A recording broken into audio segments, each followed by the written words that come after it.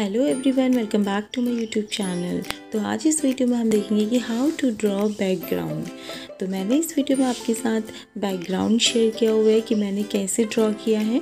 तो अगर आप लोगों को अच्छा लगे तो please like share and subscribe ज़रूर करना।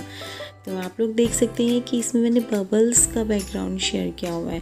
हम लोग जब ड्राइंग कंप्लीट कर लेते हैं, अपना स्केच कंप्लीट कर लेते हैं तो बैकग्राउंड बहुत ही इसका एक नेसेसरी पार्ट हो जाता है क्योंकि यह काफ़ी अच्छा लगता है अगर डालें तो स्केच उभर के आता है।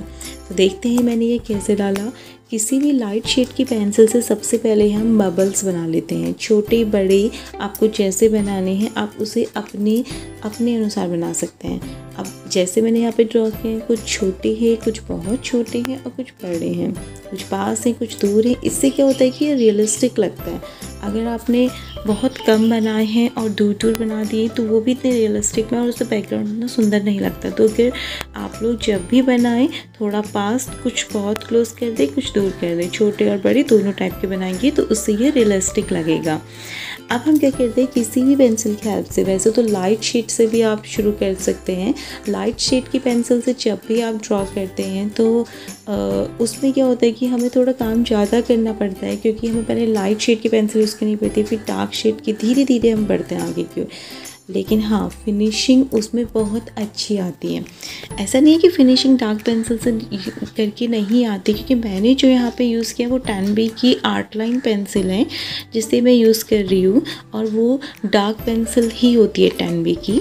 और यहाँ पर इसमें जब हम उसे यूज़ करेंगे, अगर हम डार्क पेंसिल यूज़ कर रहे हैं तो हमें एक चीज़ का ध्यान रखना पड़ेगा कि पेंसिल को हम पीछे से पकड़ के और हल्के प्रेशर के साथ ही उसे यूज़ करें, जिससे कि वो ब्लैंडिंग ईजली हो जाए। अगर हम उसे थोड़ा तेज यूज़ करेंगे, उसे हम तेज प्रेशर से एकदम यूज़ करेंगे तो वहाँ पर क्या होता है कि हम ब्लैंडिंग तो कर लेते लेकिन ब्लैंडिंग में फिनिशिंग नहीं आती है। और उसमें स्ट्रोक दिखते हैं पेंसिल के। तो पेंसिल के स्ट्रोक्स ना दिखें, उसके लिए आप उसे लाइट प्रेशर से यूज़ कीजिए और प्रेशर हल्का जितना दोगे, उसमें ब्लेंडिंग में आपको बहुत इजी पड़ेगा।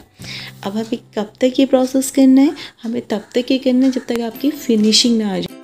तो आप जैसे देख रहे हैं कि मैं बार बार पेंसिल यूज़ कर रही हूँ बार बार उसे ब्लांड कर रही हूँ तो ये प्रोसेस मैं तब तक करूँगी जब तक मुझे लगे ना कि हाँ ये अब ओके हैं।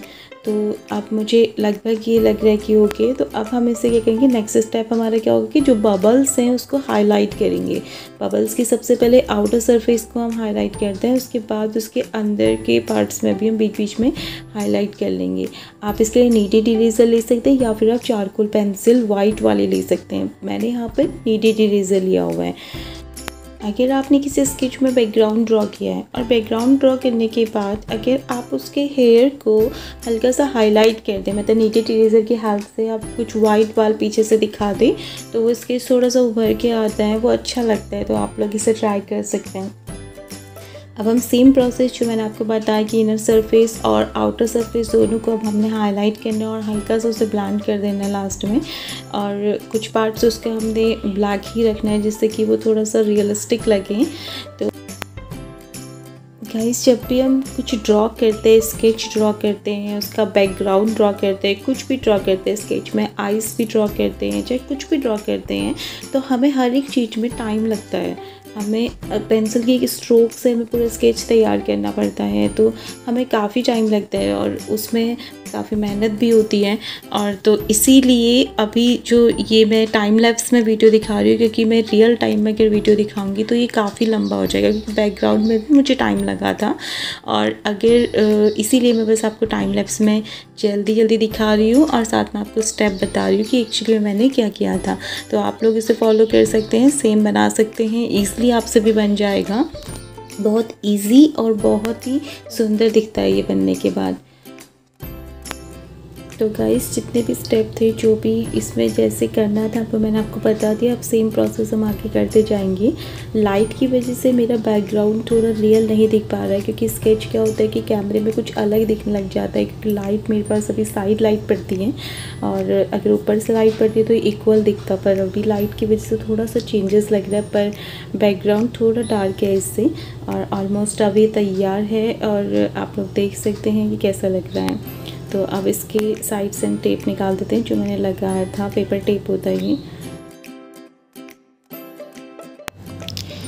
तो आप लोग अब देख सकते हैं कि ये कैसा लग रहा है। और कैसे ये बबल्स बिल्कुल रियलिस्टिक लग रहे हैं और बहुत सुंदर ये लगता है। अगर आप लोग बनाना चाहेंगे तो अपने बैकग्राउंड में किसी भी स्केच के आप डाल सकते हैं। बहुत प्यारा लगेगा।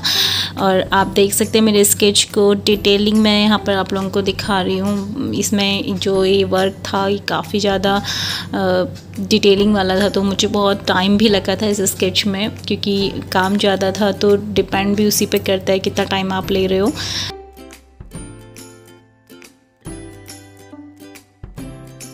So guys if you like this video and want me to make more tutorial video then hit that like button because it motivates me to make more videos. Thank you.